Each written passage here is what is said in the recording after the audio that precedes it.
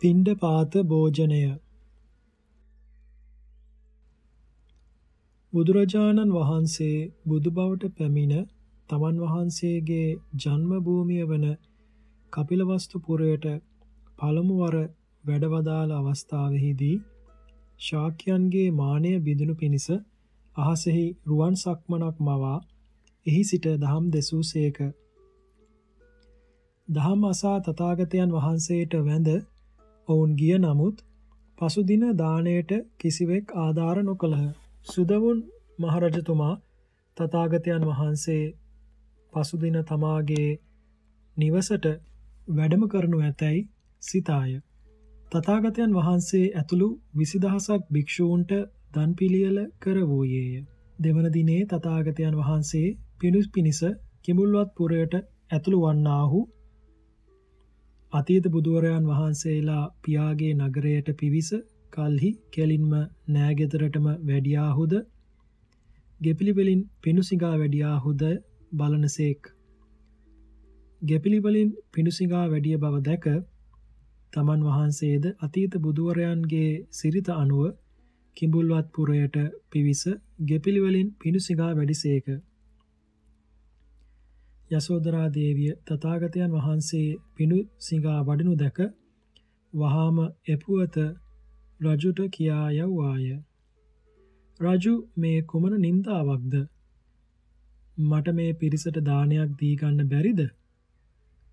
යයි කලබල වී වහා බුදුරජාණන් වහන්සේ වෙත ගොස් ඔබ මේ නුවර පිඬු සිඟමින් මට මහා නින්දාවක් කරන්නාහුය. පෙර මේ නගරයේහි ස්වර්ණ සිවිකා ආදියෙන් මහා සම්පත්තියෙන් ගමන් කොට අද මෙසේ ගෙදරක් පාසා පිඬුසිඟා ඇවිදීම කෙතරම් නින්දාවක්දැයි කීය. එකල්හි තථාගතයන් වහන්සේ මහරජ මම ඔබට නින්දා නොකරමි. මා මේ කරන්නේ මාගේ කුල පරම්පරාවේ සිරිත යයි වදාළහ.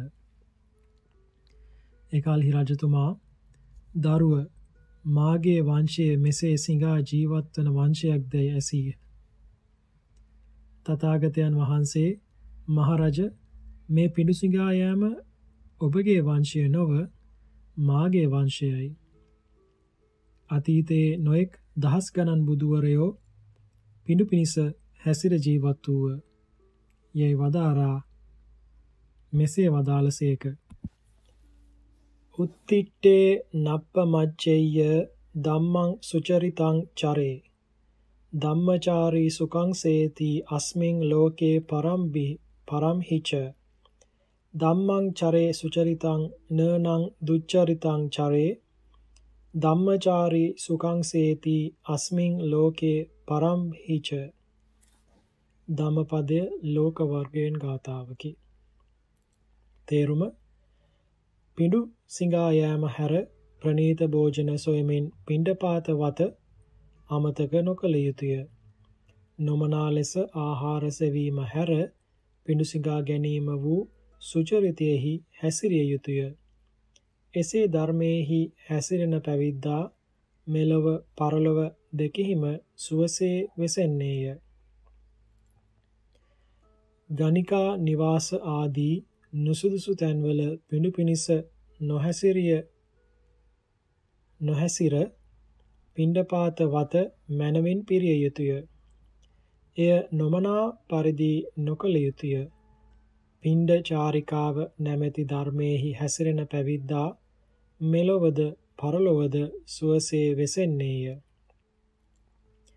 ඒ දේශනාව අසා සුදෝන් රජතුමා සෝවාන් ඵලයේහි පිහිටියේය. ලෞතුරා බුදුරයන් වහන්සේලාගේ පිළිවෙත වන පිඬුසිඟා ජීවත් වීම බුද්ධ පුත්‍ර වූ පැවිද්දන්ට උරුමය. පිණ්ඩපාතයෙන් ජීවත් වීමේ අනුහස් බොහෝය. ගිහියන් විහාරයට ගෙනවිත් දෙන ආහාරයෙන් ජීවත් වන පැවිද්දාට ඒ බත් ටික නිසා නිතරම ගිහියන් කියන පරිදි ඔවුන්ට යටත්ව වාසය කරන්නට සිදුවේ.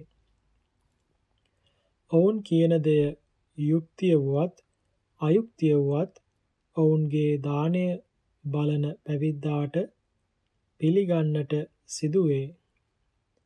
ඔවුන් කියන නොමනා දේ පවා කරන්නට සිදුවේ. එසේ නොකළහොත් ඒ භෝජනය නොලැබී යන්නේය. එපමණක් නොව ඔවුහු අපෙන් ජීවත් වන්නෝය යයි කියා පැවිද්දන් පහත් කොටද සිතති. පිණ්ඩපාතයෙන් ජීවත් වන තැනැත්තාහට ආහාරය නිසා ගිහියන්ට යටත් වන්නට සිදු නොවේ. පිණ්ඩපාතයෙන් ජීවත් වන පැවිද්දාට ආහාරය ලැබීමට નિયમિત තැනක් නැත. එක් ගෙයකින් නොලැබෙතොත් අනෙක් ගෙයකට යා හැකිය. එක් ගමකින් නොලැබුණොතොත් අනිත් ගමට යා හැකිය. ඒ නිසා පිණ්ඩපාතික භික්ෂුවට ගිහියන්ට යටත් නොවි ආත්ම ගෞරවය රැකගෙන විසිය හැකිය. පිණ්ඩපාතයේ දුන් ගිහියෝද ඒ නිසා පැවිද්දා කෙරෙහි බල පවත්වන්නටද නොඑති. කොතරම් දිලිඳු ගෙයක වුවද වේලක් ඇර වේලක්වත් ආහාර පිසීම කරයි.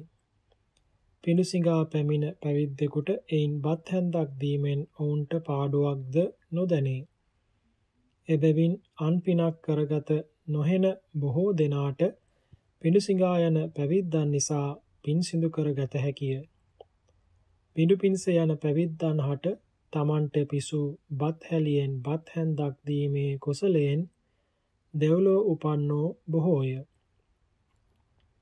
එබැවින් පිඬු පිණිස ගම්වල හැසිරීම මහජනයාට මහත් යහපතක් සිදු කිරීමකි. බුද්ධ ආදී මහෝත්තමයන් පිඬුසිඟා වැඩියේ ජීවත් වීමේ ක්‍රමයක් නැති නිසා නොව පර අනුග්‍රහය පිණිසය.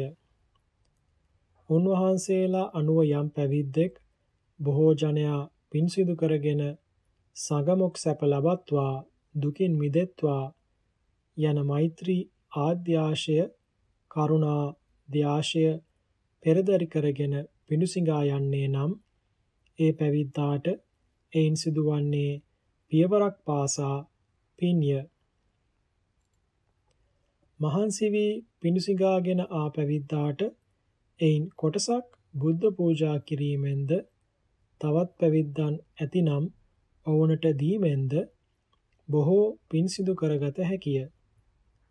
දුගියෙකුට මගියෙකුට තිරිසන් සතෙකුට ඒ වයින් දීමෙන්ද බොහෝ පින් සිදු කරගත හැකිය. බොහෝ පින් සිදු කරගත හැකි උසස් පැවිදි ජීවිතයක් පැවැත්වීමට හේතු වන පිණ්ඩපාතයෙන් ජීවත් වීම පහත් දෙයක් යයි නොසිතිය යුතුය. මහබෝසත් මහා ජනක රජතුමා රජව සිටියම මෙසේ කල්පනා කළේය. මහා ජනක ජාතකයෙන්. කදාපත්තං ගහිත්වාන මුණ්ඩෝ සංගාටි පාරුතෝ. පිණ්ඩිකාය චරිස්සාමි තං කුදාස්සු භවිස්සති. කදා සත්තාහ සම්මේගේ ඕවට්ටෝ අල්ල චීවරෝ පිණ්ඩිකාය චරිස්සාමි තංකුදාස්සු භවිස්සති. තේරුම මම මුඩුකොළ හිස ඇතිව සඟල සිවුරු පොරවන ලදුව පාත්‍රයගෙන කවදා පිණුසිඟා යම්ද? එය මට කවදා සිදුවන්නක්ද? මම සද්දිනක් මුළුල්ලෙහි වස්නා මහවැස්සෙහි තෙමුණු සිවුරු ඇතිව කවදා පිණුසිඟා ඇවිදෙන්නේමිද එය මට කවදා සිදුවන්නේද? රජුන් පවා මෙසේ පිණුසිඟා යෑම පැතුයේ එහි බොහෝ ගුණ ඇති නිසාය. එහි අනුහස් විසුද්ධි මාර්ගයේද මෙසේ දක්වා තිබේ. පින්ඩියාලෝප සන්තුට්ටෝ අපරායත්ත ජීවිකෝ පහිනාහාර ලෝලුප්පෝ හෝති චතුද්දිසෝ යති. විනෝදයති කෝ සජ්ජං ආජීවස්ස විසුජ්ජති තස්මාහි නාති මඤ්ඤෙය්‍ය භික්ඛාචාර්ය සුමේදසෝ. තේරුම පිණ්ඩපාත භෝජනයෙන් සතුටු වන්නා වූ අනුන් අයත් නොවන දිවි පෙවෙතක් ඇත්තා වූ ආහාර තණ්හාව දුරු කළා වූ පැවිදි තෙමේ කා කෙරෙහිවත් බැඳීමක් නැති බැවින් පැකිලීමක් නැතිව සතර දිසාවෙහි හැසිරෙන්නේ වේ. පිණ්ඩපාතයෙන් ජීවත්වන පැවිද්දාහට අලස බවද දුරු වේ. ආජීවයද පිරිසිදු වේ. එබැවින් නුවණැත්තේ පිණ්ඩපාතික වත පහත් නවහි භික්කවේ අංගේහි සමන්නාගතං කුලං අනුපගහන්त्वा වා නාලං උපන් ගන්තුං උපන් ගන්त्वा නාලං උපනීසී දීතු අංගුත්තර නවක නිපාතයෙන් මහණෙනි මේ අංග නවයෙන් යුක්ත වන කුලයට නොගියේ නම් යෑමට නුසුදුසුය. ගියේ නම් වැද හිඳ ගැනීමට නුසුදුසුය. කවර අංග නවයකින්ද යත් පැවිද්දෙකු ගිය කලෙහි කැමැත්තෙන් හුන්නස්නෙන් නොනගිටිත්ද කැමැත්තෙන් නොවදිද්ද කැමැත්තෙන් හිඳීමට අසුනක් නොදෙද්ද? පැවිද්දාට ඇතිදය සඟවාද?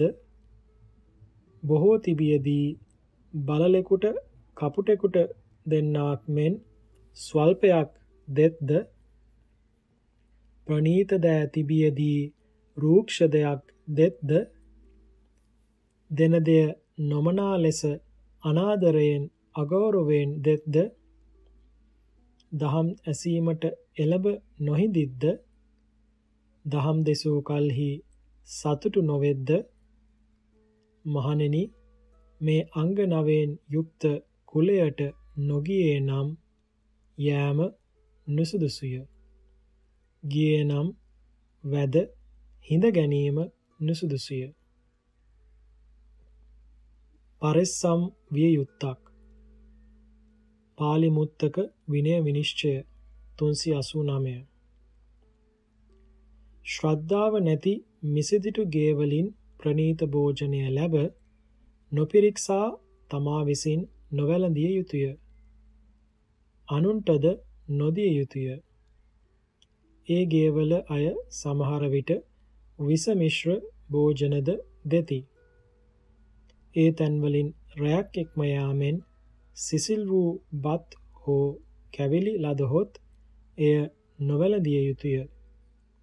ඒ අය සමහර විට නොවසා තැබීමෙන් පත්තෑ ගෝනුසු ආදී විස සතුන් වැටී සිටීමෙන් අහක දැමිය යුතු ආහාර දෙයි. සුවඳ වර්ග හා කහ තැවරී ඇති ආහාරයක් ඒ තැනකින් දුනහොත් නොපිළිගත යුතුය. ඔවුහු සමහර විට ශරීරයේ රෝග ස්ථාන පිස ඇති බත් පැවිද්දන් හට දෙන්නට සිතති.